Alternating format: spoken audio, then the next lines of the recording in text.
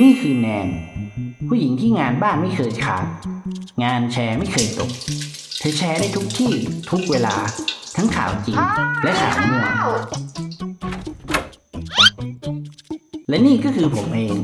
สามีของแนน ผู้ที่ทำได้ทุกอย่าง ไม่ว่าเธอจะพูดอะไร ก็ต้องยอมเธอทุกเรื่อง แต่เรื่องนี้ผมยอมเธอไม่ได้จริง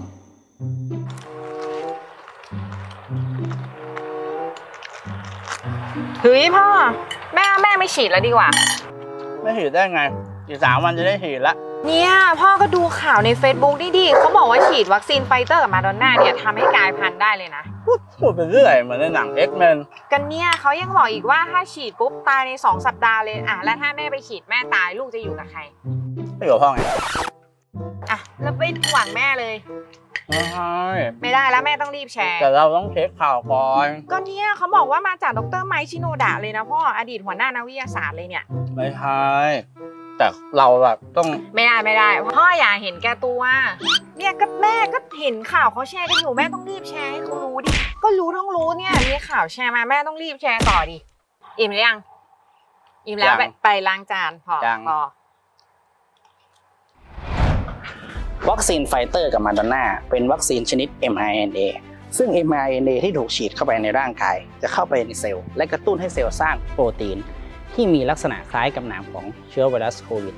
และทำให้ร่างกายเราสร้างภูมิคุ้มกัน เพื่อต่อสู้กับเชื้อไวรัสโควิดได้ในอนาคต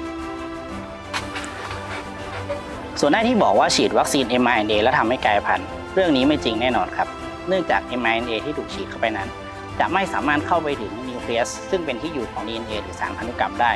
จึงไม่มีทางที่ mRNA จะเข้าไปเปลี่ยนแปลงสารพันธุกรรม แล้วทำให้พวกเรากลายเป็นมนุษย์กลายพันธุ์ได้ครับ ส่วนไอ้ที่บอกว่าฉีดวัคซีน mRNA แล้วทำให้เกิดสารพิษนั้น เรื่องนี้ก็ไม่จริงเช่นกัน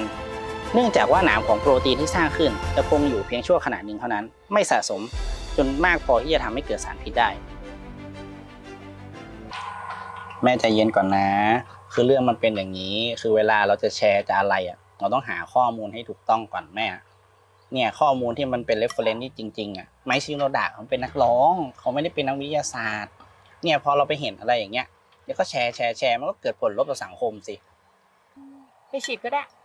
ดีแล้ว จะได้ช่วยสังคมได้มากกับการแชร์ข่าวผิดใช่ positive call out culture รู้จักไหม ๆ โอเคพ่อไปล้างจานอยู่ดี อิ่มแล้วใช่ไหม Thank you.